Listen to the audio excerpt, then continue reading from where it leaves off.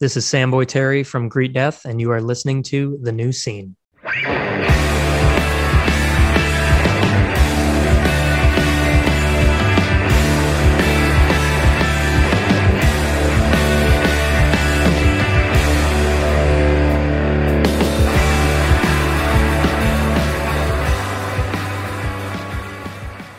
Hello, everybody, and welcome to the new scene. I am your host, Keith, and we're back with a brand new episode. And on the show today, we've got Ryan Parrish of City of Caterpillar.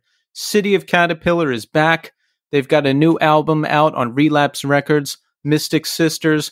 We talk about that. We talk about the early days of the band. We talk about the new days of the band. And do you realize and I don't know if everybody realizes this, but Ryan has been in every band ever Darkest Hour, Bleach Everything, Mammoth Grinder, Iron Reagan. He's done it all, he's seen it all, and we cover it all. That's coming up momentarily, so strap in. It's a great conversation. And now I have a special announcement to make. You've heard me asking for a long time for Apple Podcast and Spotify reviews the goal was to get over 100 reviews, and I have to tell you something. We've done it. We've done it. We are over 100 reviews on Apple Podcasts and Spotify. We did it. And I have to thank you, our listeners, for your support in getting us there. You know, I started this podcast from the ground up, from nothing. And your support you getting us over 100 reviews on both platforms, it shows that we can accomplish anything if we put our minds to it. You know, I don't have a big pre existing audience. I started this thing from the ground up, from one listener to where we are now. I'm out here grinding for every single play, every follow, every like, and every download. And I want to thank you, our listeners for getting us to this milestone and for your continued support. And I want to thank Iodine Recordings for their continued support. I can't do it without all of you, so thank you. Thank you so much. And now I want to read some reviews. 420 Nug, 5 stars, great pod. Title says what I mean. That's simple and to the point. I like it. Thank you, 420 Nug. Joe M, 1982, Road to 100 likes, 5 stars. Love hearing these interviews. Wishing you and your guests the best. Favorite episode Cold Cave American Nightmare. Thank you, Joe. That's one of my favorites as well. Ms. Ross, 66, says Great podcast. Five stars. Great guests. Casual approach. Very enjoyable. Always look forward to new episodes. Thank you, Ms. Ross, 66. James, 8712, says Great podcast. Five stars new to the new scene. It'll take me a while to catch up, but I've started the journey. These interviews are outstanding, perfect for a soon to be 40 year old scene kid. Thank you, James. Sean from Chicago, five stars, grade A stuff, super down to earth and insightful podcast. Always entertaining and has introduced me to tons of amazing music. Keith, you're a great host. Keep it up. Thank you all so much. I'm over the moon right now. I didn't think we were ever going to break the 100 five star review milestone, but we've done it. We have done it and we are there. And you know what? My favorite compliment is when people tell me that I'm turning them on to new and awesome music that they dig. Because look, I've, I've taken a lot of crap for my musical taste over the years. When I was younger, people say, Why, what is this screaming? Rah, rah, kill your mother, kill your father members of my own family, oh no, don't put on the music. Oh, everything you listen to sounds the same. It's not good. People I've dated, oh, we hate your music. Don't put it on. Listen, I'm not saying everybody. I'm not saying everybody, but it's great validation and makes me feel awesome that I can curate these collections of music and conversations and bring them to you and that people are enjoying it. It's the best feeling in the world. And really, I can't say thank you enough. I've said it many times already. So, one more time, thank you for your continued support of the new scene and also support Iodine Recordings. Check them out on Instagram at Iodine Recordings or their website, iodinerecords.com. And speaking of new music, I've got a great recommendation for you. Holy Fawn is back with a new LP. It has just come out. It's called Dimensional Bleed.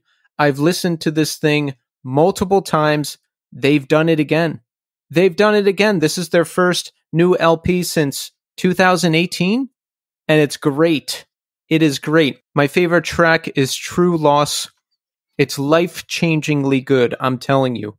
And it makes me want to cry every time I hear it. I have a lot of personal feelings attached to this band. I still remember discovering them via a Arctic Drones Best of Post Rock list. I think it was their end of 2018 list.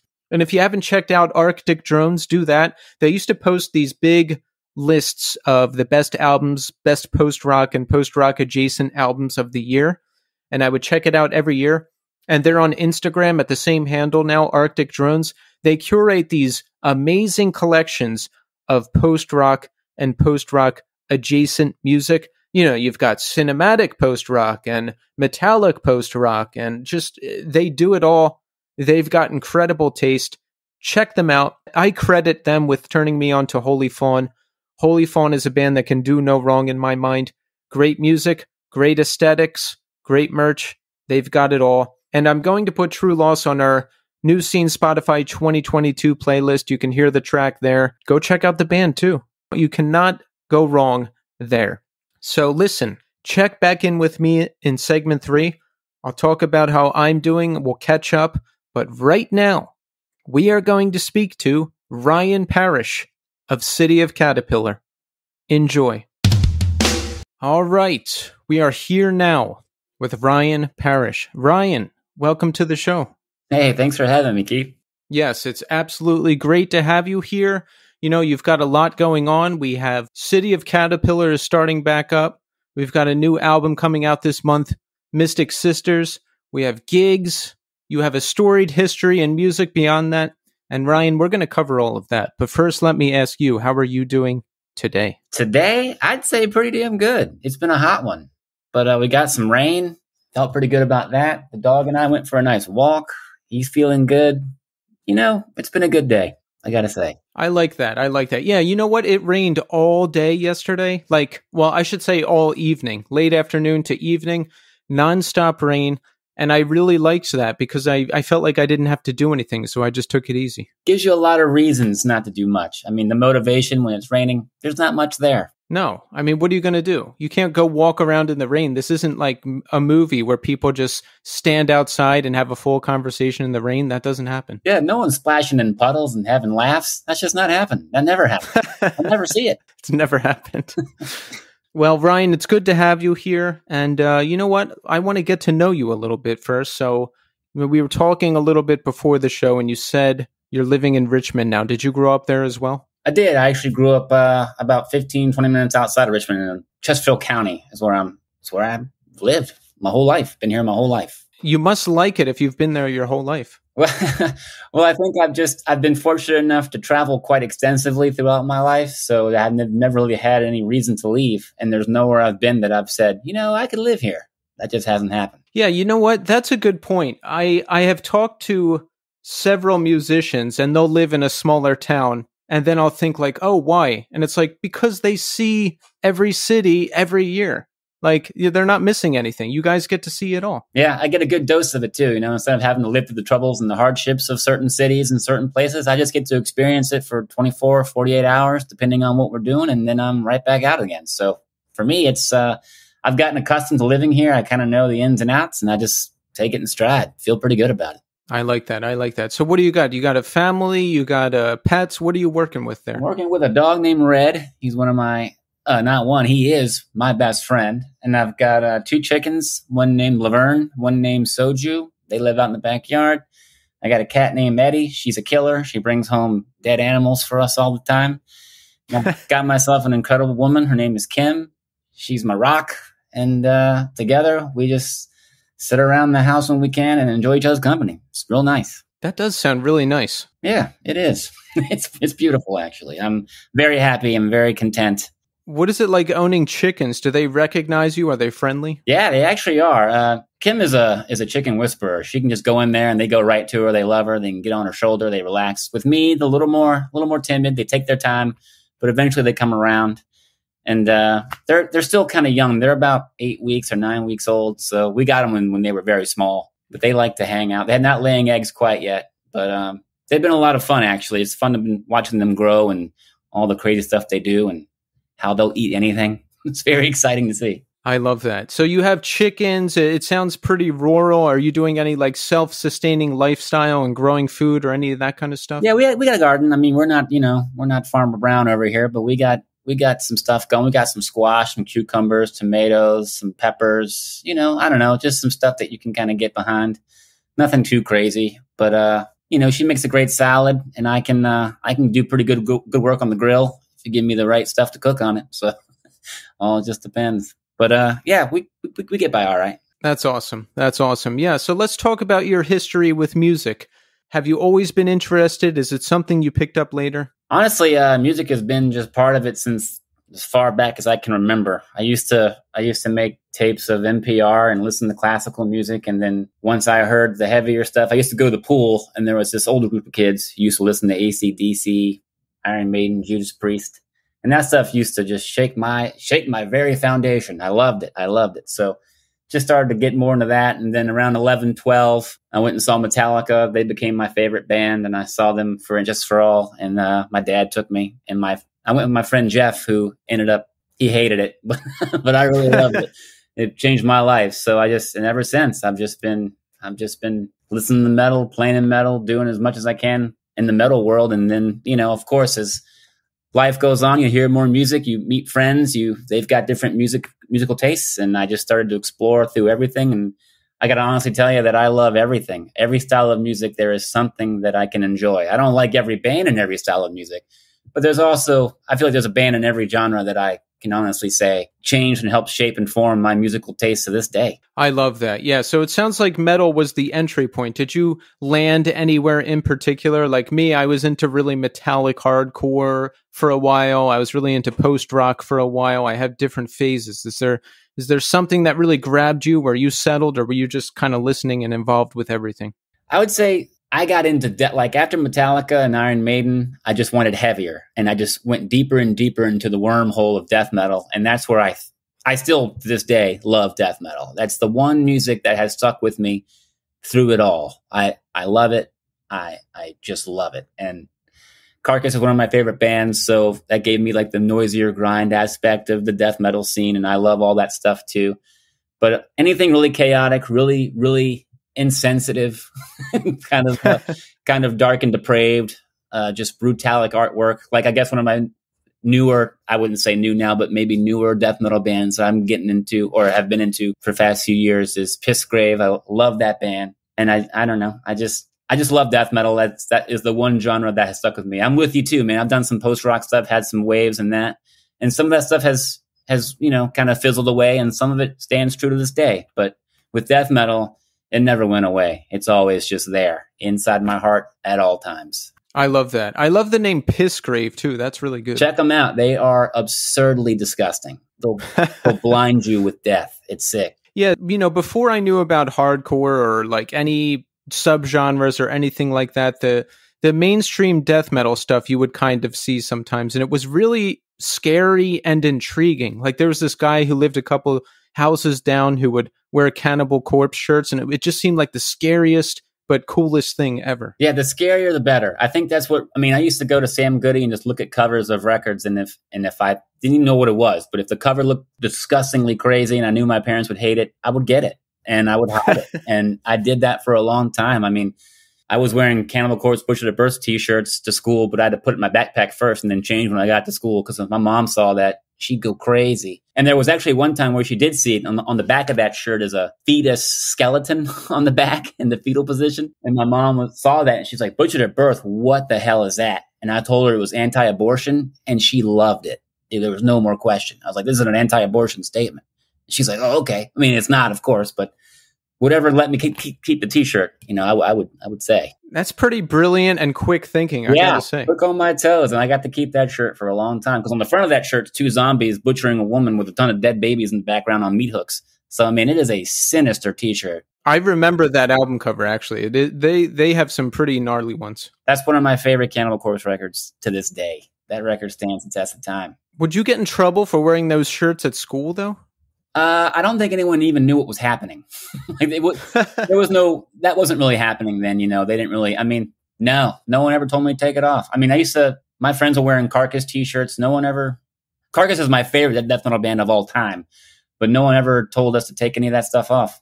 Oddly enough, oh, if there were like you know uh, genitals or or stuff like that, they would probably be upset about. I think GWAR shirts weren't very cool because they had some phallic representations on there. Yeah, I'm I'm just thinking of like I did 12 years of Catholic school, so anything remotely uh what's the word I'm looking for? Salacious, uh, you would you'd have to take it off. Yeah. Yeah, I think uh, I think oddly enough, I think some of the some of that death metal stuff, I don't know, just no one caught on to it or like, maybe they just weren't paying attention. I really don't know. Never got in trouble though. Well, that's good. So when did you get started playing drums? Uh, I started when I was 12. Are you self-taught or yeah, tell us about it. So I was getting sent home from school all the time because I was just banging on my chest and banging all over stuff on the tables and I really didn't even know I I mean I I knew I liked music and I was just playing along to music that I liked, but I never really realized that an instrument was on board. That was the next, you know, that was what was happening. And my dad brought home a used, like a yard sale drum set, just this piece of crap. And I just played, played it to death. So uh, I think that was when I realized that maybe drums were it and I just stuck, stuck with it. Never stopped. Yeah, especially if you're getting sent home from school for banging on things. I mean, why not make it useful and put a drum kit in front of you? Yeah, that's exactly what my dad thought, and it, it worked. so, how long until you started performing live and in bands? Uh, so immediately, I'd say I'd say another year went by, and then I started meeting some people. Uh, Corey Smoot was the first person I ever started a band with. My friend Chris Barron and Corey Smoot and we had a band like a metal band. We were covering Slayer. We had a couple. We had a couple originals. We played "Season in the Abyss" that song at our talent show in seventh grade, and uh, like because in sixth grade uh, we were just kind of starting to understand what our instruments were all about, and then we were comfortable enough to start playing. We played a birthday party actually in sixth grade. that was my very first show. Was a, was a birthday party. And when the girl walked in, we started playing Four Horsemen by Metallica. But we did we did we did Megadeth covers too and then uh, we started getting you know like i said it just started to spiral to deeper and darker things from metallica megadeth exodus and then we just started going slayer cannibal corpse. It took a napalm death death the band death. I don't know. We just started going like i said anything with a cover that looked completely insane had to have it yeah, I imagine within a couple years, you guys must have been really good too. Because if you're using those bands as your basis to learn instruments, you, you must be able to shred pretty quick. Yeah, we I, honestly, I was very fortunate to be playing with the guitar players as I was at the time. Chris Barron was is still to this day an incredible guitar player, classically trained. He went on to be classically trained, but he was already very, very good. And uh, and then Corey, Corey went on to be in GWAR for a long time, so he had a whole he had a whole thing with him too. He was also just very talented, really creative musician. So I was fortunate to get started with those guys. And then later on, uh, I started another band after that. After uh, Corey started a different band, then I started a band with Chris Norris and Chris Barron and this guy Jason Mintz, Tommy Lithgow, and we started a band called uh, Disinterment. But before that, it was called Gutted. we were called Gutted first, but then there was another Gutted in the death metal world, so we had to change our name. So we changed it to Masochist, and then we like that game. That name kind of sucks. So then we changed it to Disinterment. Disinterment is good. Yeah, and it was three guitar players. It was very melodic death metal because uh, Chris Norris uh, was way into the European style death metal, so he brought in the In Flames, Dark Tranquillity, that sort of vibe to our lives. And uh, you know, because we were all just death metal heads, and he came back from he went to Germany on a student exchange program and came back with all this incredible death uh, melodic death metal and that just completely changed the trajectory of what we were doing. It was still death metal, still fast, still crazy, still growling, but we had a lot more uh, like harmony, melody elements, more musical elements, I'd say, uh, that started to to build. And he was a huge part of that because we went on to be in Darkest Hour together. And that's where most of that stuff came from. Chris wrote majority of that music, and it was, you know, if you ever heard Darkest Hour, then you've heard some melodic death metal at its finest, in my opinion. Even though we've got called metalcore all the time, I never understood that. but I don't know. Such is life, I guess. Yeah. I well, I guess there was a lot of melodic metal, hardcore crossover stuff. So you know, but I, I yeah, I always thought Darkest Hour was definitely more metal. Yeah, I, am with you. I mean, we loved At the Gates, but everyone else used to always say that we were just At the Gates ripoff, and uh, we never thought that. We, we never it didn't even it didn't even occur to us that we were anywhere near that because I didn't think we sounded like At the Gates at all. They were way less melodic. I mean, they were great. Don't get me wrong, love that band, it took them telling us that, they, that we didn't sound like them to make us feel like that. You know what? You're right. we don't sound like you. That's great. so they actually told you that? Yeah, they did. They uh, in 2004 we went to Sweden to record a record, uh, and we had Tomas Lindberg do some backing vocals on a song, and he told us that none of this stuff sounded like At the Gates, and that that made us feel great. See, that's direct from the source. Everybody right. is yeah. from from Tomas himself. That's right. He told us so. And it did make you it did make you feel good, right? I, I maybe I would have felt weird about it in a way too. No, because we told him that everybody says we sound like at the gates, and he goes, "Why? You don't at all." And we met him with uh he came to town with the Crown. We did a U.S. tour with the Crown one time, and it was incredible. So we just made instant friends and got to go over there and hang out in Sweden. Very cool stuff. Just you know, I don't know, just great relationships made over the years for sure. That's awesome. How did you decide on Sweden to record the record and and did the label fund that for you? I guess because of you just had so much real metallic influence. Yeah, and Studio Fredman was where all that stuff was recorded. Dark Tranquillity, In Flames, uh, Dimension Zero, all that stuff was recorded there. So we were like, why not go to where it all happens? So we just begged the label to help us out with it. They did, and we flew over there. I mean, we had to pitch in as well, but it, it, it at that point it was like whatever it takes to make this happen. and we and we did, man. It was a it was kind of a brutal trip because we were there for a month. It was in the dead of winter, snow everywhere, and we stayed at a, a friend. Uh, actually, his even crazier story. This amazing person named Ellen let us stay in her apartment, which is a one one bedroom studio apartment thing, and we all just slept on the floor like sardines. And we had to walk to the studio every day in the snow. This is like an old person telling you how they, how they got to school. But we walked through the, we walked through the snow for like a mile. We snuck on trains, we snuck on buses with all of our gear to go there every day. And we did that for a month. That's like the most metal way to record a metal album, too. Possibly. Yeah, like you're crammed in a studio apartment. You're at the mecca of the metal universe where all the greats have recorded. It's dark, it's cold, it's snowing, and you have to sneak your way over there. Yeah, that's that's what happened. It was pretty metal, I guess. Now that So how was it recording in that studio? I mean, just it sounds like everybody has recorded there. It's just, you know, just walking around looking at the collection of of the records that have been done there and then the special appearances of people just coming in and out of there. I don't know. It was definitely like being in an amusement park for melodic death metal and Swedish style metal. I mean, we were we were just blown away, jaws on the floor the whole time. It was an incredible experience. That's awesome. Were you happy with the album? Yeah, it's called Hidden Hands of a Sadist Nation. And I got to say, it's probably one of our heaviest records that we did to date. About the At the Gates thing, I think with At the Gates, I think they were just one of the biggest crossover metal bands. You know what I mean? Like someone that everybody knew. Cause I didn't listen to a ton of metal. I listened to like some In Flames, some Nightingales, but at the gates, that one record, everybody listened to that. Yeah, I think that was also, yeah, I mean, that transcended genre. That definitely went into the hardcore community. I mean, hardcore kids knew who At the Gates was. I mean, they just knew and they loved it. Exactly. So I think that's a reason why we kind of got stuck with that description of being like them because that's the only thing hardcore kids knew at the time. so they they didn't know about Dark Tranquillity. You know, they didn't know about night, you know, Nightingales. They didn't know about In Flames really. Like they didn't have anything else to compare it to. So they just went with At the Gates because that's all they knew. Yeah, that was the only band I knew. So if anything was metal, it just sounds like At the Gates. That's it. That's right, and that's why that's why it was infuriating for us because there was just so much other good music that we we sounded like so many other better bands. And that that's I'm not saying that to put At the Gates down, but we just sounded like so many other bands that were great. Yeah, and you and it must be especially frustrating because you guys really know metal. Like you know the bands, you know what you're doing and it's like at the gates is just one band, a small piece of this big thing. Well, that was another infuriating part. You know, it just felt like people were saying that because that's all they knew, and yet we had a million things we could have told them and talked to them about, but they never asked us.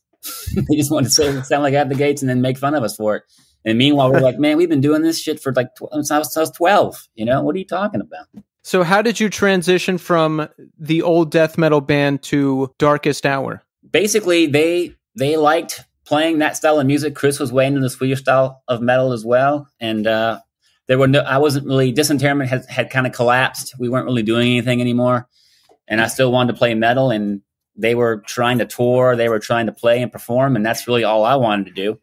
So I actually got in the band before anybody. Uh, they played a bowling alley with Disinterment one time, and my friend Fred, Fred Ziomek, who actually ended up being in Darkest Hour as well, he got me in that band into Darkest Hour, and you know, he's a hardcore kid. So was Mike Schleibaum and John Henry. They were just hardcore kids who liked At the Gates.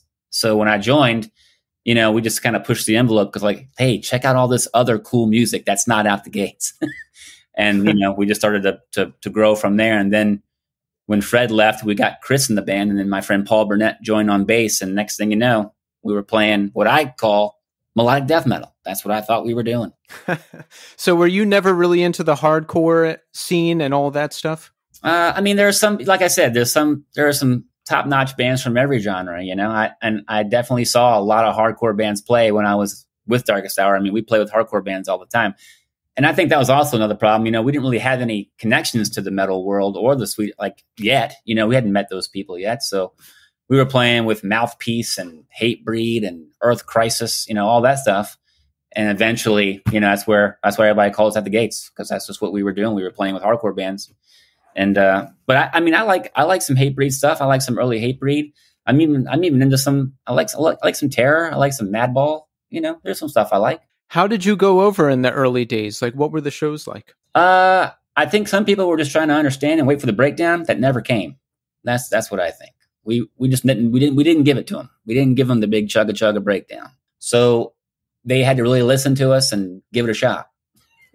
I mean, that's just how I perceived it. I could be all wrong. I don't know.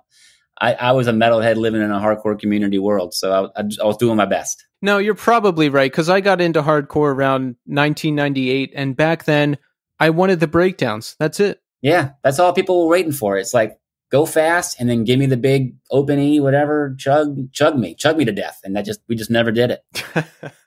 well, I, I like that. You know, you're challenging people or not even challenging people really. You're just doing what you do. Yeah. That's just, that's just how we were rolling at the time. So you're in metal bands, you're in darkest hour. How do we form City of Caterpillar? Cause that's pretty different from all the metal you're describing. That's why it's, this is why the story takes a twist because before, uh, I was actually I don't know. Yeah, I mean, I guess so. I was in a band with Brandon Evans, who plays guitar in City of Caterpillar. And can can you curse on this program? Oh yes. Okay, the band was called Not Your Fuck. Whoa, is that for me? I mean, hey, Chris Norris is calling me right now. How odd is that? He's, his ears must be burning. But uh, anyway, uh, yeah. So I was in a band with Brandon called Not Your Fuck, and we had done some touring, and it was kind of like a city. It was kind of like City of Caterpillar, except it was way more aggressive. We didn't really have super pretty parts. We we did have them, but not to that extent. And that was all happening at the same time as I was in Darkest Hour. Like even the beginnings of it. All that was all happening at the same time. Yeah, we did that. And then when Much Fuck broke up, we started City of Caterpillar immediately after. We got my friend Adam Juresko on bass, and then we got Jeff Kane on guitar. And we did a four song or five song demo. And then uh then Adam left the band after the demo, and then we did the full length and then I left the band after the full. Well, I didn't leave the band, but we kind of parted ways after the full length. They went on to keep playing because I was too busy with Darkest Hour because we started touring a lot more because of that record that we did in Sweden. We just started to tour a whole lot, and it just kind of went from there. How did you feel about City of Caterpillar? It sounds like it's outside of your normal wheelhouse, and you know, for the time, even then, it was pretty fringe music. I'll call it screamo, like the emotional heavy post hardcore slash hardcore and it's it's having a bit more of a resurgence now. I think a lot more people are listening to it but i remember back then like those were pretty fringe bands. Yeah i don't i don't consider it screamo. I don't think I, don't, I don't know. That's just me. Like i guess this is the same conversation we just had about you know melodic death metal and and hardcore and you know I, I don't know. I I I believed I I'm, or being called metalcore. I didn't think Darkest Hour was a metalcore band. I don't really believe City of Caterpillar is a screamo band. I mean, we were I thought we were punk. It was just noisy. It was loud. It was crazy. But we were listening to Godspeed You Black Emperor. We were listening to Mogwai. We were listening to Portraits of Past. I mean, which I guess some could consider that screamo or emo or whatever. But to me, it just sounded like instrumental, like symphonic, symphonic punk. Or I don't, I don't, I can't even explain it. To me, like City of Caterpillar was just a blend of Godspeed and and anything heavy, Born Against, any kind of punk, any kind of noisy, Erebon Radar. You know what I mean? Anything like that. It was just kind of chaotic, out of control, like Angel Hair, that kind of stuff. Honeywell, which I guess people call screamo, which is, I guess, yeah, yeah. But that, I mean, Brandon was way into Angel Hair. Brandon was way into Antioch Arrow. You know, so he did come from that from that world. And Jeff Kane at the time, he was in Enemy Soil. I mean, he did that band for a little bit. So there's just so much metal in our roots and in our veins, but we just transferred it over to what we like to do. And I don't know. I don't think we ever thought about doing anything specifically genre related. We just were writing what we what was influencing us at the time. Yeah, I like hearing that list of influences too. I mean, you have super heavy stuff like enemy soil. You have the screamo stuff like Honeywell, and then you have some post rock stuff like Godspeed, all coming together because it, you know, it really City of Caterpillar. It really is a unique sound. Yeah, I agree. I mean, and at the whole time, the whole time I'm listening to Napalm Death, you know. you know, we're, we're, we're, not we're not blast beating or anything, but uh, you know, I'm also not not rim shotting the whole time either. You know, but and I, I, got I mean, I like Christie Front Drive. Don't get me wrong. I, I I'm I'm into that. I, there's a lot of bands like that that I can get behind. Does it stand the test of time? I don't know. I haven't played a Christie Front Drive record in a long time, but I love that band. I can tell you that. I, I never disliked it. Oh yeah, it's good. It's good. So what do you think while you're in this band, while you're playing in this band? Because you're more of the metal world. I mean, are are you into what's going on? Are you into some of these influences as well? Yeah. I mean, I love Godspeed. I love Mogwai. I love Stars of the Lid. I love stuff with no drums. I get, I, am like I said, there's a little bit of everything. I, I love it all. And uh, like I said, death metal is kind of the root. That's kind of where I'm always going to be. But I'm not afraid to. I'm not afraid to jump to another tree and check it out, man. You know, I like a, a lot of people are just they they they want to stay in the bubble, and I'm just not like that. No, that makes sense. Yeah, I'm like that now too. I don't want to just do one thing. It just gets boring. And and as far as musicianship and writing, you can just so easily kind of write the same thing over and over again and I don't want to do that anymore. No, I don't and I I'm with you. I mean, I want to expand. I like to listen to different music and I like to incorporate different vibes and I, I just I don't feel like there I mean, when you're a musician, the point is to play. Period. I just want to play drums. I want to be challenged. I want to try different things. I don't want a double bass for the rest of my life. I want a double bass, but not all the time and not forever. I mean, not not for just one double bass thing forever. I, I want to do it all. I, I want to play it all. And if I have an opportunity to play with people who I think are really good, who and we have songs that we feel like are strong that we want to share, and we can make them, why not? Absolutely, that's the way to go. So you're doing double duty between Darkest Hour and City of Caterpillar, yes? Yes. Those must be a stark contrast in shows playing with uh, with those two different bands, right? Oh, absolutely. yeah, without a doubt. The Darkest Hour shows I'm imagining like Darkest Hour and a bunch of hardcore bands and a bunch of hardcore kids like beating each other up. And then the City of Caterpillar shows, I'm imagining like a small basement show and Spock haircuts and studded belts. Yeah. What do they call them? The shotgun blast haircut? like yeah. Someone took a shotgun to their mouth and blew the back of their head out. Yeah, they were, they were everywhere. The, sh- the, shirts were too small, the belts were too white. I mean, there's a lot going on in there, but there's a lot of good community, a lot of good people, and I still talk to a lot of people from that era. You know, good communities, good friends, and from both. And that, I guess, the overall dynamic was just the way people looked and what they listened to. But as far as community and people helping each other out, that is universal in every scene. If you have to even say scene, but it's just universal. That's what's so beautiful about music. It is really, truly a unifying experience, however it's presented. A hundred percent. Yeah, what you're saying is spot on about uh, the different scenes, even if they're different. And you know, I wasn't as into it back in the day because I was stuck in uh, metallic hardcore La La Land. But you know, bands like Page 99 and Honeywell and City of Caterpillar and Joshua Fit for Battle and all those bands, which I broadly call screamo because that's what I heard when I came in. I like it. The music is interesting.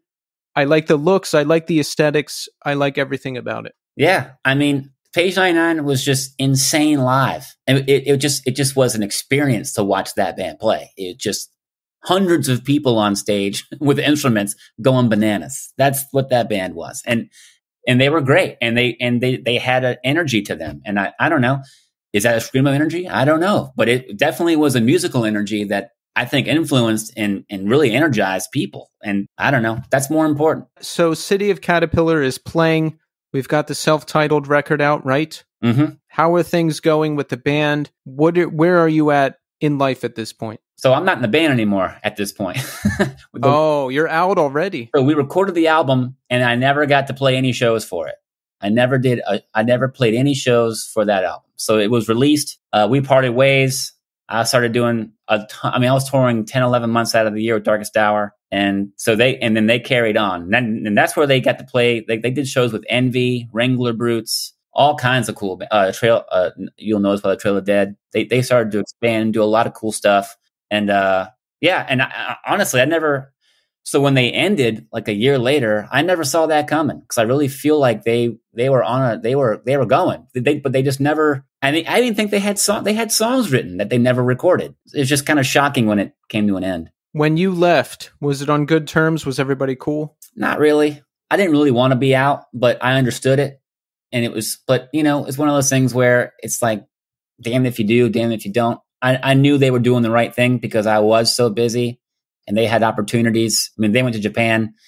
So, and I just, I just couldn't commit to a lot of the stuff that they wanted to do because I was on a different path. And, you know, it, it, was a little weird at first, but we're all good now. It didn't, you know, it didn't stick. How long did it take for things to get okay again? Uh, Kevin and I never stopped talking. Uh, Brandon and I were pretty close. I don't know, not long. I'd say a couple years. I'm glad to hear that because when I was younger, I could really hold a grudge and, you know, a lot of time would go by, but, it, you know, and it's just the situation. You're young, you're pulled in different directions, you know. We were young, man. I mean, we were young. This is like early 20s stuff. So things hit you a lot harder back then. You don't have anything else to really care about. It's like bands, your friends. Like you just think of those things as inseparable.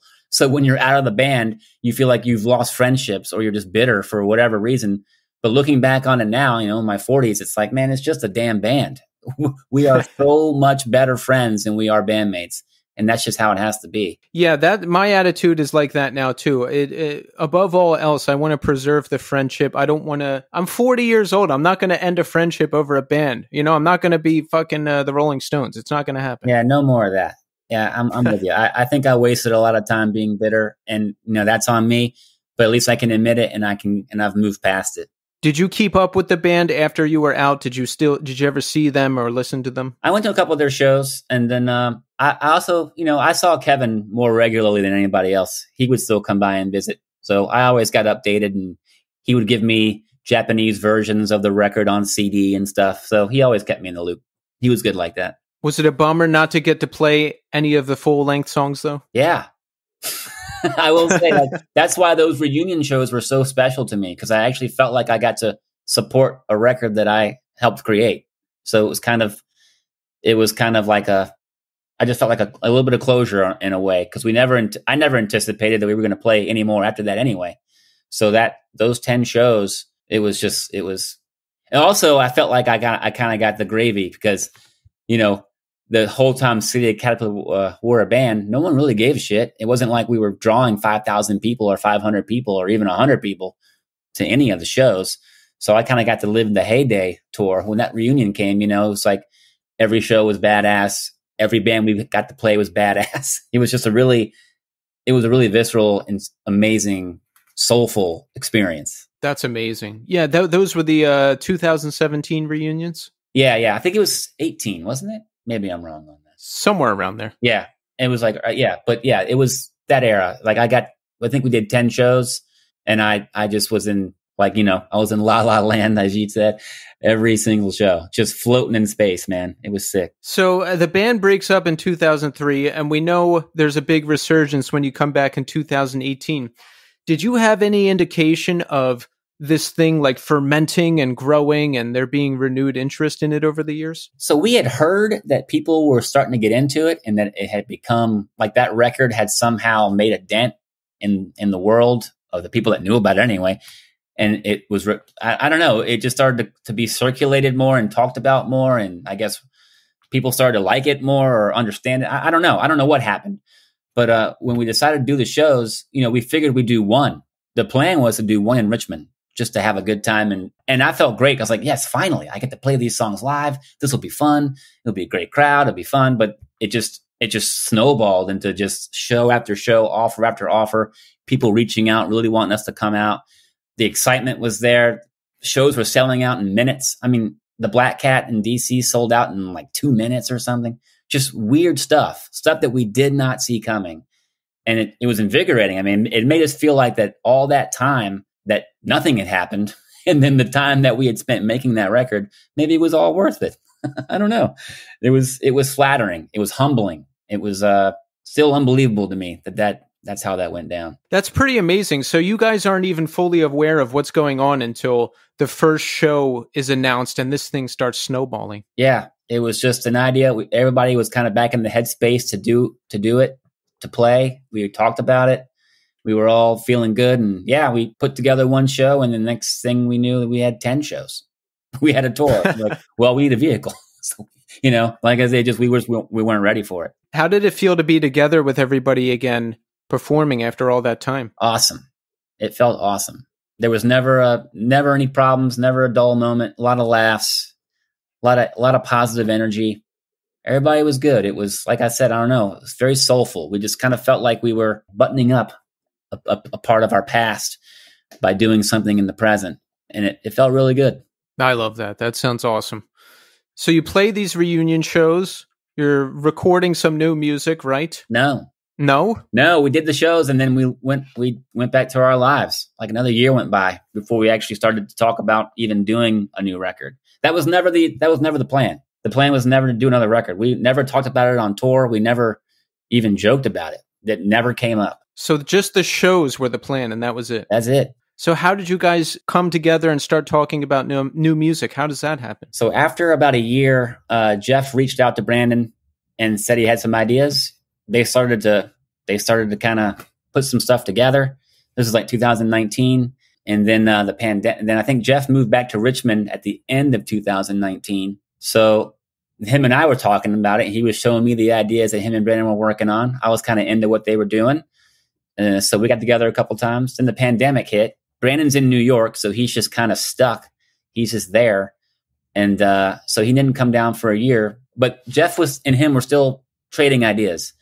And uh, so we were still working on stuff. And then after the pandemic year, Brandon moved to Richmond. He came back and we just started to really dig in and start writing. That's kind of how that went down.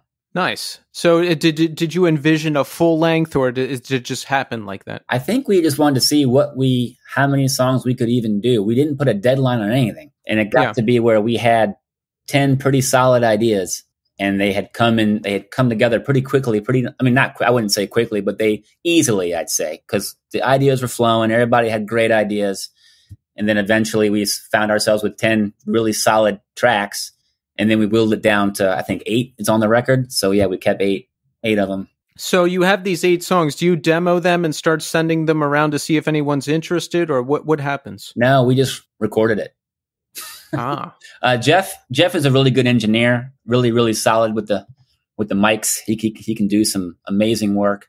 So our demos really sounded like the record in my mind. We I, I felt like we were making the record while we were technically demoing the record. It felt like we were making it.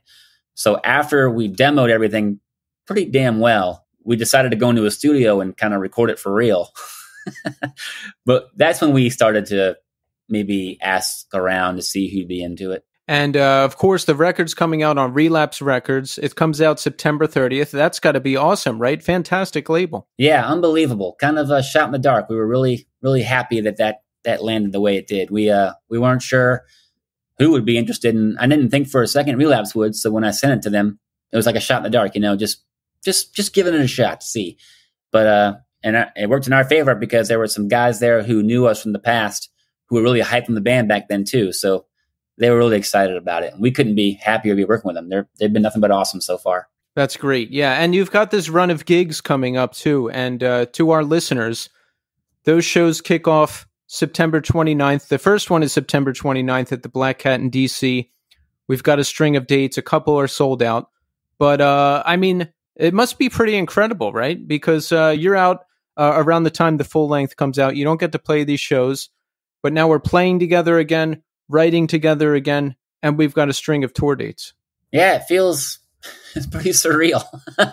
Uh, uh, not, you know, not to mention this has been like a three year process, just from beginning to to this day. Right now, we have just been waiting for this record to come out. It, it has been it's been a grueling grueling year this year because we it's been done, you know, since January February of this year. But you know, it takes so long for things to happen. So having these shows booked, having people excited, I'm proud of the record. I know my bandmates are too. Everybody's very proud of the record. We feel really strong about it. We feel good about it. No, uh, no apologies there. So you know, you get. Hopefully, people dig it. We'll just have to see. I mean, they have to. They just have to. Have you, everybody? Have you heard the new single? I mean, come on. If you don't like that, something is wrong. well, I, yeah. I, I mean, we're really happy with it, and I, I can only hope that people get it. I mean, you know, we were laughing the other day because maybe it'll be a record that doesn't catch on for another 10, 20 years. Who knows? Can you imagine if that happened again? No, because I'll be in my 60s. So I don't, I don't even know if I'll be able to, you know, sleep the night without peeing 1,500 times. So I don't know. Hopefully, hopefully people will appreciate it and understand what it is. Like I, we always just say, you know, there's no, there's no point. It's not about us. It's about the music. It's not about who's in the band. It's about the music. You know, there, you shouldn't slap a genre on it. You shouldn't categorize it. You shouldn't label it. You shouldn't try to because of relapse you shouldn't try to put any judgment on it whatsoever. Just listen to it for what it is. And to us, it's just an album that we're really happy with, that we feel like really brings out a side of our writing that we never really got to do before. And just another expansion of who we are as a band and, and what we do musically. And I don't know, I, we're proud of it. I love that. And I I agree 100% with what you're saying. You know, I'm 40 years old now, as I've mentioned earlier in the conversation. I don't have so many preconceived notions about music and genres and labels and scenes and all this bullshit. Something comes across my desk, I just listen to it. And that happened with you guys. You know, I didn't hear the band back in the day because I was only listening to like metallic hardcore and that kind of stuff. But uh, I love the band. I love what I hear. I'm excited for the record. And I'm actually starting a band that kind of sounds more like what you guys are doing and the so-called screamo bands are doing. So I'm I'm getting much more uh, into this world, and I love it. That's awesome. You know what I like about everything you just said is that you didn't had you, you know there was no preconception. The the record came on your desk and you listened to it. That's all I can ask anyone to do. you know, if someone hands it to you, don't start trying to figure out what it is. Just put it on and listen to the damn thing. Because I mean, I, I I've said this a million times, but I think it's one of the most genius quotes of all time uh, one of my friends, Tom Smith, has always said genre is obsolete. And I couldn't agree with him more because it really is about the music. I mean, that's what musicians get into this whole thing for. I mean, you know, you're not trying to, you're not trying to sell yourself. You're trying to sell what you, not even sell, you're just trying to share music with people. And it, it's, it, it does, it does get frustrating when people see the relapse label and they're like, this is not metal. It's like, who gives a fuck? This is music. I mean, and it, it's, it's it's dark. It's dirty. There's an underbelly to this whole scene. I feel like, and we've tapped into it. you know, because it, it's a it's still it's still brutal in my opinion. It is. It is. If you, I mean, if you listen to the band, it's certainly got an edge. Do people still do that? Will they will they see the relapse label and and actually be upset that something isn't metal? Yeah, I think we saw one comment where someone had said uh, on like someone said relapse used to put out good music, now they put out garbage, and I, I, I that couldn't be further from the truth. But that's just a preconception that Relapse puts out just metal. And the thing is, who's to say City of Caterpillar isn't metal? Who's to say that? No one, because the influence is there. It's all over the place. If you listen to that record, you will hear the metal in it. It's impossible not to. And you can hear the you can hear the pretty and you can hear the sickness. It's it's all there. That's what I love about the band. It's just a it's just a it's a blend of of everything that we come from, everything that we love, and everything that we've listened to. I, there's no other way to explain it. That's why I realized was like, hell yeah, we want to do this because they hear that too. They hear that too. Yeah, and you know, I'm I'm actually less likely to listen to a label these days if they're only doing one thing. I like that Relapse is mixing it up a lot more these days. Yeah, I mean, you have to. It just you can't keep putting out the same thing over and over again. It's like you can't keep making the same record over and over again, unless you're Motorhead, which is badass. Of course, they can do that, but you know, some certain bands do certain things and and they're good at it. And I, and I, that's not to say that you shouldn't stick to what you know, but at the same time, it's nice to get out of your comfort zone and experiment a little bit and see what happens. I mean, that's life. That makes it spicy. I'm with you on that. Uh, what, what was the quote? Genre is obsolete. Genre is obsolete. And the guy who said that his name is Tom Smith. He passed away uh, this year, but he and if anyone can say that it's him, he comes from a even darker, crazier world of music that is anti-music. So, uh, if you ever get a chance to check out, he he's notorious for his project or his band, I'd say, or he it's more of a collective called To Live and Shave in L.A. and it's a it's a dark ride. I like the sound of that. I mean, it really is anti-music. I mean, if you're, t- you talking about opening your mind, you better open that motherfucker as wide as you can. Well, I'm gonna check that out for sure. But yeah, I like uh I like that quote. I feel like there's a lot of interesting music going on right now that can't be tied necessarily to one genre and maybe it's just because I'm older and more out of touch, but I feel like there's less gatekeeping. You know, it's like, oh, it has to be this or you have to do that. I feel like everybody's just playing the music they want to play. And there's a lot of music that's really good. It's just there's awesome stuff happening. That's called freedom. that is true musical freedom. The ability to do what you want without having to cater to people who demand something different. You can just do whatever the fuck you want, play how you want, and hopefully people will appreciate it. And if they do, awesome. If they don't, that's cool too. No hard feelings. But there's no reason to walk around stomping your feet if something's on relapse. It doesn't sound like it should be on relapse. That's just ridiculous. What a waste of time. I'm with you on that. I think even back in the day, like there was like a little controversy for relapse signing Dillinger Escape Plan. You know, How silly is that? Which is funny because they're like insanely heavy. Yeah, they're, they're they're heavy as shit. I can honestly tell you. I mean, I had the opportunity to tour with them a few times, and they were never bad. Never. Not only were they completely talented beyond human recognition, but they were heavy. They were creative. They were insane, and they cannot be categorized. They don't sound like anything. There's nothing like them on the planet. Nothing. Yeah, that must be cool. Like they're truly one of a kind, and it must be it must really be something to be in a band like that. Yeah, I mean, it's freedom. That's what it is. They can write whatever they want and slap Dillinger Escape Plan on it, and it will sound like them. And they can do it forever if they wanted to. I mean, I know they're not around anymore, but every record evolved. Every record had its own vibe, its own feeling, and they weren't afraid to do it. And that's also, I don't know, courage. Kudos to them, man. So we know that City of Caterpillar got started back up around 2018, but you know, there's a lot of time from the time you left the band leading up to that reunion. We know you were in Darkest Hour up till 2011, yes? Yep. What happened? Did you leave? Uh, Darkest Hour? Yes. Kind of the same deal, just kind of parting ways. Didn't didn't go well. There was just at that time there was just a lot of stress, a lot of life stuff. Uh, Paul Burnette, who's probably one of my closest pals, uh, bass player. He had left a few months prior, so there was just it was on the downward trend. It was just for for me personally. I it was like a you know you stick with something because you think you should, and I think I just was like beating a dead horse. I just kind of wasn't into where we were heading musically, and I'm I'm loyal. You know, I'll I'll stick it through, but I I think I just stayed too long. I probably should have left before. So I think a lot of emotions were running running rampant. A lot of things were said that probably shouldn't have been you know, a lot of things I regret, but one of those things where, you know, time always kind of, kind of heals, you know, that sort of thing. And, you know, we all, we all still talk. It's all still cool. Everything's good. But yeah, that just kind of, that just kind of ended and they they still roll. You know, they're they're still going. So so what did you do after that? I mean, uh, you must have felt kind of lost because you're you're touring in this band for a long time. I mean, right after that, I got on the phone with one of my closest friends, Tony Foresta, and we started Iron Reagan. Oh, the well, there you go. Day. Yeah, and then I just did what did that band for about eight years, touring like crazy, being maniacs, playing thrash, like one of my all time. Also, you know, Exodus, Metallica. That's my old one of my loves from my past as well, and I got to do it with a bunch of close friends from that.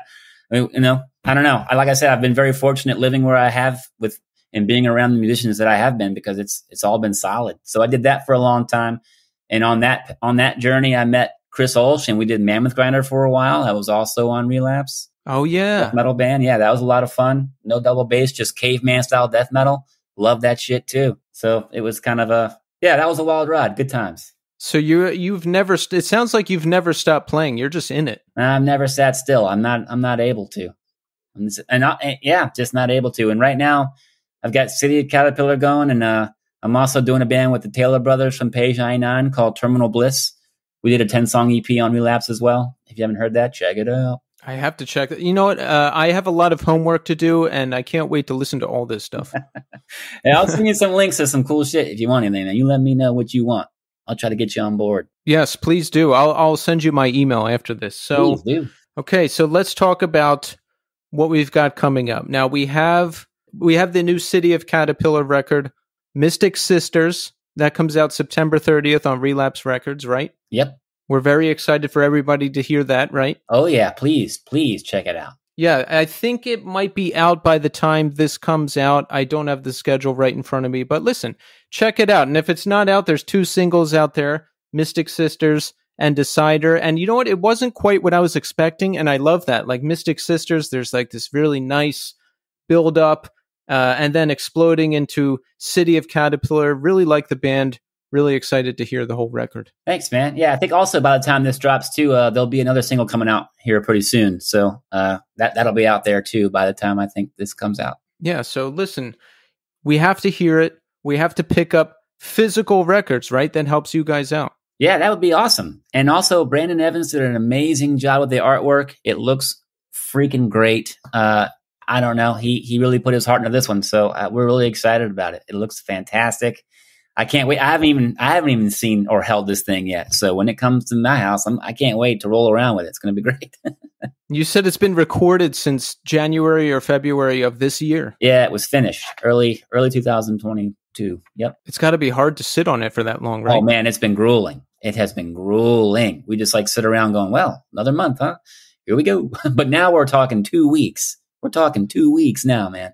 So we're on the verge. Are you on like the major press cycle? Like you know, I I saw your name everywhere a couple months ago. Reunion shows, album, it was all over the place. Uh, th- yeah, we're all kind of picking up and doing what we can. Everyone's everyone's putting in the time, doing some interviews, doing the best we can to get it out there, get the word out. I mean, talking to people we've never talked to before, people interested that have never been interested before. It's been really cool. It's been really nice. It's it's it's humbling. It's humbling, honestly, to just be able to you know talk about a band that has that has not done anything in 20 years and a record that you know no one's even heard yet, and yet people are asking questions about it. It truly is humbling. It just it puts you back flat footed on earth, you know. Yeah, that's one of my favorite stories. I talk to a lot of musicians, but when this time capsule thing happens, where like when it's out initially, people don't really get it, and then a decade or two decades goes by, and then there's this explosion. I I just love that. Yeah, I mean, like unexpected, very unexpected twist. Very delighted by that unexpected twist, though. I gotta say, I just uh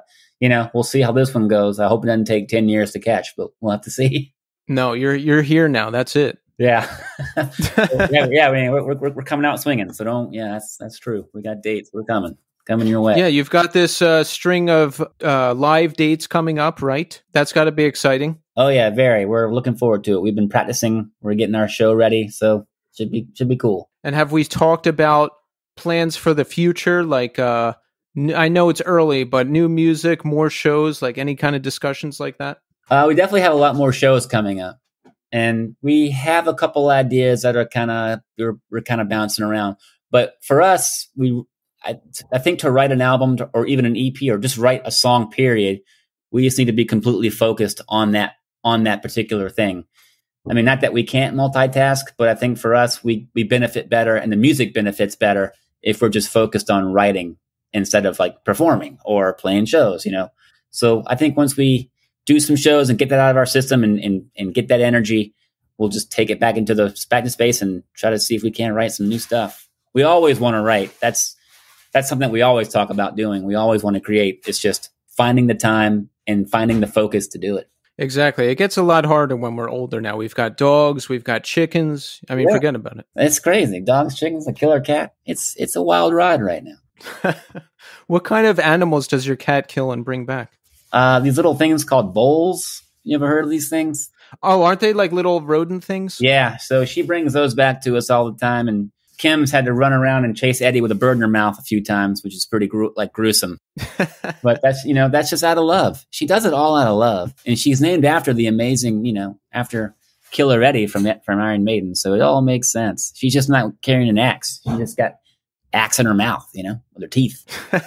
Is City of Caterpillar going to be the focus now, or do you have other bands that uh, you're busy with? Uh, actually, right after this, I got band practice with a band I'm doing called Spore, which is just sick, fast punk. Uh, still doing Terminal Bliss. We're we're getting we're actually getting ready to write a full length that'll be out hopefully next year. We're gonna get started with that.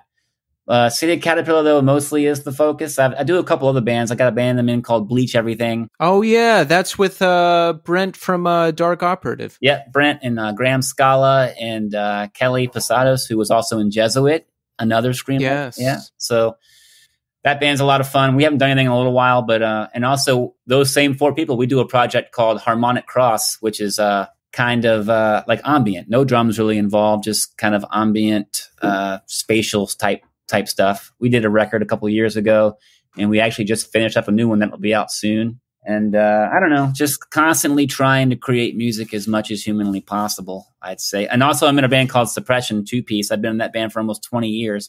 That band's been going the entire time. All these other shit's been happening. so I just got back from Chicago with them this week, with him this weekend. We played LA the weekend before that. Uh, that stuff's just maniacal grind to the to the max. A lot of fun to do. Two piece bass and drums, and uh, we're actually we just finished a collaboration with uh, Bastard Noise, who uh, Eric Wood also used to be in Man is a Bastard, and we just finished that up, and then we're getting ready to write a full length. So busy, busy, man, feeling it. I'm happy that I asked you because it, it the, just the amount of music that you're creating is unbelievable and awesome. Thanks, man. Yeah, I, I, I, I don't know. I like to like to play drums as much as humanly possible. Uh, I, and I'll, yeah, when you send me your email, I'll send you this other thing. I did a, um, a collaboration record with a bunch of crazy musicians from Richmond. That's called Slow Burning Rage. That came out last December, and it's just eight songs, and uh, every song is very, very different. It's a, a definitely a genre roller coaster, but uh, you know, some of it's wild, some of it's nice and nice and uh, and ethereal. Some songs have drums, some songs don't. But that was a lot of fun to make too. I don't know if I'll ever do another one, but it was a lot of fun to. I just had all these ideas that I've been sitting on for years, and I just wanted to get them out. So that was a lot of fun to do too. That's on Bandcamp. I mean, you you must just be at band practice or on tour or writing. You just must be busy all the time. Yeah, it's been good. I've got a, I've got a good family unit who supports everything I do. So if I didn't have that, there's no way I could even do it. Yeah, th- I mean that's key. That's key. That is that is the only key. That is that's the key to life. That's the key to freedom, man. If you've got if you got love and support, you can do whatever the hell you need to do to make yourself happy. It's it's really cool. Well, Ryan, I'm looking forward to more from City of Caterpillar and of course the many other bands that you're working on. I'm looking forward to hearing more. And I just want to say thank you so much for coming on the show. It was great talking to you, and uh, thanks for the time. Yeah, Keith, thank you so much for taking the time to sit down and talk to me, man. I really appreciate it. And the fact that you care and you listened and, and you enjoy music the way that I think people should that's it's it's wonderful to talk to other like like-minded folks who love music, who just understand music, and that's what I'm saying, man. The community keeps growing. Now you and I are connected. You know what I mean? You give me that email address, we'll start changing. You know, sending each other music. It's a great thing. It's how it should work. There you go, done. How would you feel about starting a 19th band with me? What do you play? Guitar. Send me some riffs. There we go. Done deal. yeah, man. We're on a roll. And just like that.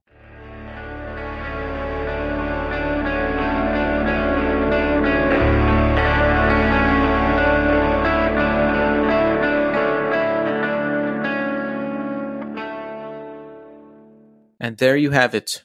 Ryan Parrish. Wow. Really nice guy. Super nice. Great conversation. I wasn't even aware of how many bands he was in before I spoke to him. And he's just done so much. He's just done so much. I mean, look at the body of work. Incredible musician. Super nice guy. I'm a newer fan of City of Caterpillar. Uh, my bandmates turned me on to them and I dig it. They're turning me on to a lot of good music, and City of Caterpillar is one of those bands. And I'm happy that they're back. like Ryan was saying, he's got a second chance now. They can get out there and play. There's new appreciation for them, and I'm looking forward to more. Thank you, Ryan, for coming on the show. That was fantastic. So let's check in, huh? How are we doing? I'm doing great. As you're listening to this right now, I am on my way back from Furnace Fest, and I'm sure I had a great time. You'll find out in next week's show if I did. I might do a Furnace Fest recap show. I might not. I don't know. I got to see how things are going. I got to see what's going on. But either way, you're going to hear about the fest from me, and I'm sure I had a great time. Otherwise, things are going great for the most part. You heard in the beginning of the show, we hit our Apple Podcast and Spotify review goal. Show is going great. This is my favorite time of year. The weather is cooling down. Fall in New York City is the best. I wouldn't trade it for anything.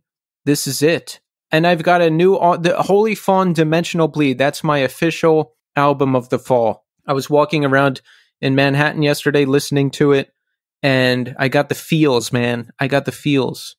Great record. Great record. So, again, make sure you check it out. And, you know, I went through something recently. I have a friend who ended up in the hospital the other week.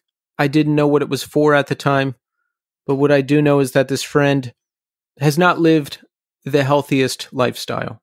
He drinks all day, every day, smokes cigarettes all day, every day. I thought maybe that was a contributing factor. And this is something I've been sitting on for a long time. And I don't know what to say or do about it because I've seen this person change and not for the better. It makes me uncomfortable to be around them. They're different now from what I remember. And I hear he's in the hospital. So right away, my mind goes to liver failure, cancer, this and that. And it turns out it wasn't any of that. You know, it was something unrelated, but there's all these feelings boiling under the surface for me. And I don't know what to do about it. I don't feel like I can have an honest conversation with him because I don't feel like it will go well. I don't feel like it will be received well. There's that piece of it. And also taking into account that that used to be my life. I used to live an incredibly unhealthy lifestyle, probably more unhealthy than this person. And there's that angle to it as well. You know, maybe it'll sound contradictory coming from me to say, hey, this is how you should live your life when you take into account how I used to live my life. So I walked into the situation tense with all of these unresolved feelings. You know, I visited him in the hospital and I kind of tried to have some conversations and they didn't go so well. And my friend is in denial about the state of his health.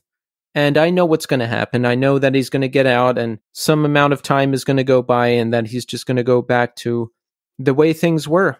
And I think I have to accept that. You know, I don't have any control over the situation. I guess I could say something. Maybe it would help. Maybe it wouldn't. But again, you know, I was in that situation and nobody was going to make me stop until I was ready to stop. I had to make the decision. And maybe he doesn't want to stop that's his right. That's his choice, you know? If he told me, hey, this is my life and this is how I want to live it, and that's it, I would have to accept that and move on. But, you know, I was visiting him in the hospital and there was people there and everybody's just kind of making jokes and uh, making light of the situation and that upset me because I was taking it seriously. So I left not on the best terms. And I think everything's okay now. You know, I've since talked to everybody and everything is good, but it's an ongoing situation for me, at least. I have a lot of feelings to process and I don't exactly know how to process them. So otherwise, there's not much going on. It's business as usual here at New Scene Inc. So that's it. That's it for this episode. You can reach me at newscenepod at iodinerecords.com and on any of our social media. I check it regularly. I'm back next week with a new episode and a new guest. We've got a lot of good stuff coming up, so continue to check in. Thanks everybody for listening, and until next time.